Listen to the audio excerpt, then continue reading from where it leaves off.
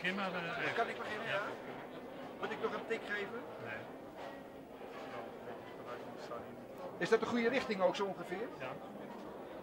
Dag meneer, leuk u te ontmoeten hier. Het is voor het eerst van mijn leven dat ik u nu ontmoet. En ik zou u graag een paar vragen willen stellen. Kan dat? De eerste vraag. Uh, hoe komt u zo aan uw grapjes? Verzint u die zelf? Loopt. Ga je gang.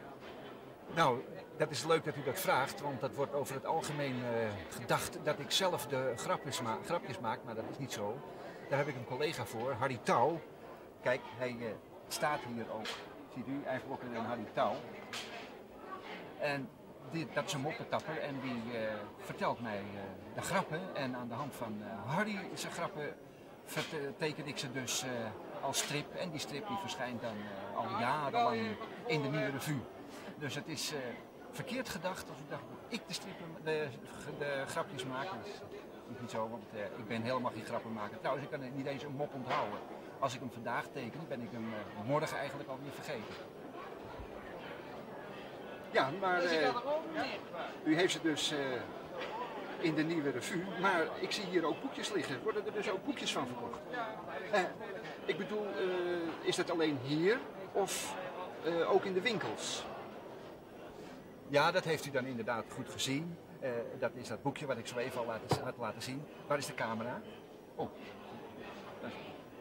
En dat gebeurt inderdaad al, uh, al jaren, ook al in jaren vijf. En zijn overal in Nederland verkrijgbaar. Er zijn er duizenden van gedrukt. Dus als u nog zo'n boekje wilt kopen, kan dat rustig. Want we staan hier bij Stand Eppo.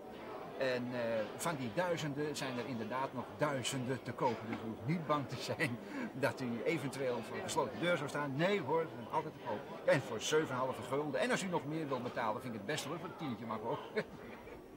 Kan niet, ja? Uh, zou u er een voor mij willen signeren? Misschien met een leuk tekeningetje erbij voor uh, herinnering aan u. Ik vind het zo leuk u ontmoet te hebben. Ja, dat wordt inderdaad, dat is een hele moeilijke vraag, want ik kan eigenlijk niet tekenen, maar ik zal het proberen. Mijn zelfportret, dat wil me nog wel eens lukken, zoals ik als ik een goede bui heb.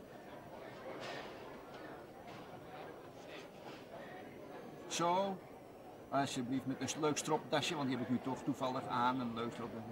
Nou, dat is het dan, alsjeblieft. Ja, ik liet het ook nog even aan de...